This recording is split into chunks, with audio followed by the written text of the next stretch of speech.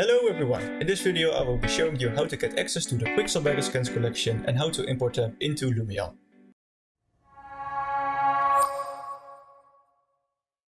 So the first thing we need to do is we need to go to epicgames.com.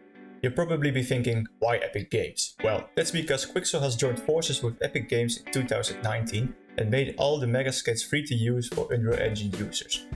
Because it's from Epic Games, everyone that has an Epic Games account has now access to the entire Quixel library. So we first need to make an Epic Games account. If you already have an account, you can skip this part. For the others, you just go to the Epic Games website and press sign in and then follow the steps on the website. After that, we go to the Quixel.com website and press the sign in button.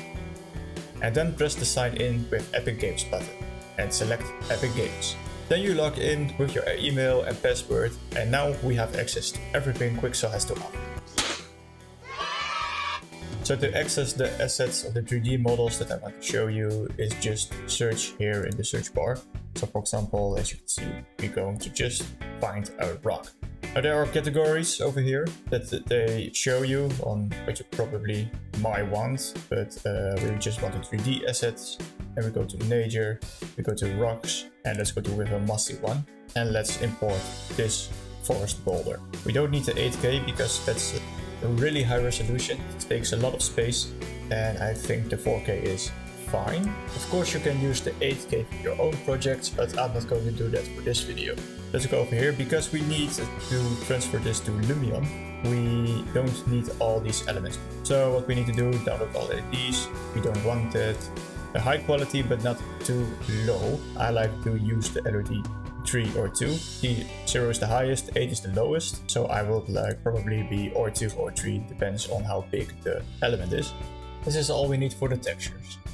Albedo, that's the color. The normal, we need the displacement. Roughness, specular. So then we go back and we can download and then just find a place in a folder so in Lumion, we go and create a new project. We go to the plain environment because it's the easiest one. And then what we want to do is go to place and import a new model. Go to import a new model, go to your file that you just downloaded and let's go with the LOD2. Let's open this one. Uh, we can change the name and that's Forest Mossy Folder or rest. And we don't want it in the main category because otherwise we have all the folders full. Uh, I made a Quixel Megascans. If you don't have this one yet, you can just create a new folder and type the name over here. Let's import, and as you can see now, we have the folder. But it needs textures. So we go to the materials, select the folder, and we go to load in all the textures that we have. Now this one, this one, that's one. Let's go with the texture all the way 100%. Because the maps are imported and are made for this project, everything needs to be 100%. Relief, we need a normal map, roughness, placement map, and now we have a nice mossy boulder. The cool thing about Lumion is that you can import all the models that you have and then create your own custom library and it's also not project specific. So that means that if I open another project, for example, my realistic forest scene. If you haven't seen this video, I will put a chart right now. Uh, make sure to check that one out and go to the models, for example, the Met Quixel Megascans that I made, and you can open this one. And then you see the forest mossy boulder that we just created in another project. And you can also see it has textures and everything is also set up so that if I go now to the material, all the settings are the same as well. And that's really powerful about Lumion. You can create your own custom library like this.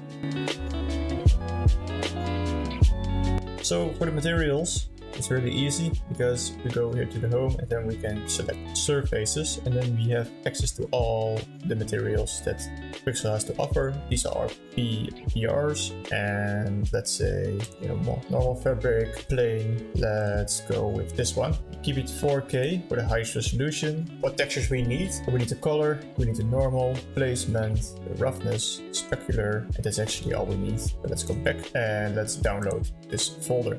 So now we go back to Lumion, my re most recent project. If you haven't seen this video on how I made these renders, put the chart in the left corner again, and make sure to watch that one. Then we need to go to the couch and let's go and change. We go to the new standard, so it resets, and then we can create our own material, import all the textures. So now we have put all the materials in here and as you can see it looks pretty good. Go to the photo and now you can re-render our scene with the new material. So this is the way to import uh, Megascans from Quixel, also the materials. Uh, if you find this video helpful or you learned something, it's a new method that I use to create these kind of videos. If you enjoyed the video, also let me all know in the comments. Consider subscribing and if you liked the video, leave a like. And I hopefully see you all in the next video. Bye!